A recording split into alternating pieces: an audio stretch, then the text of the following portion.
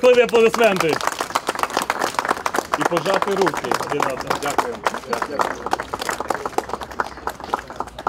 В Ужгороді з'явилась 32-ма міні-скульптурка, присвячена вона філологу та любителю природи надто екзотичних рослин Іштвану Лаудену. Він відкрив на Врахівському районі рослину Ельцгольція і вже війшов у світову історію тільки такою назвою.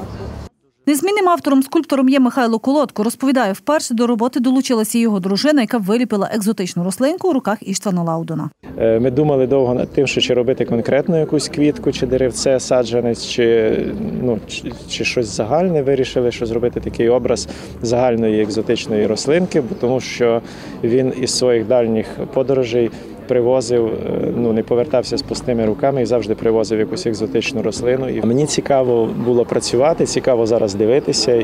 130 років тому саме Лаудон створив в Ужгороді унікальний парк, де ще зараз можна побачити найстаріший гінко та магнолію на Закарпатті. Червонокнижні цибулю ведмежу, шафран, білоцвіт. Це при тому, що в 30-х, 60-х та 95-97 роках 80% саду знищили. Зараз його доглядають працівники Ужгородської дитячої лікарні, які і реконструювали його.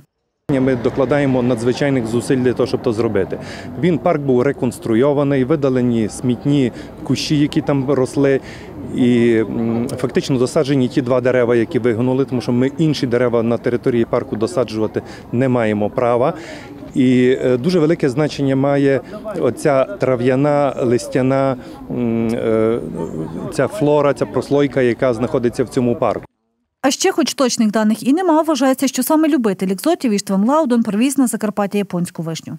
Е, Підозра, що саме Лаудон завіз е, в кінці 19 століття масову кількість сакур.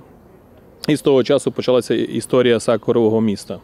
На відкритті присутні чимало глядачів, серед яких і влада міста Ужгород та представники Генерального консульства Угорщини та уповноважений уряду Угорщини Іштван Гережа. Сусіди вкотре долучились до ініціативи збереження дендропарку та, зокрема, встановлення мініатюрки.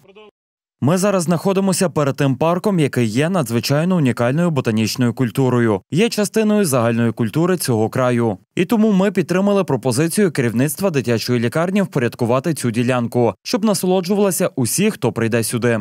І вже традиційно локація з черговою міні-скульптуркою входить до списку відвідин туристів.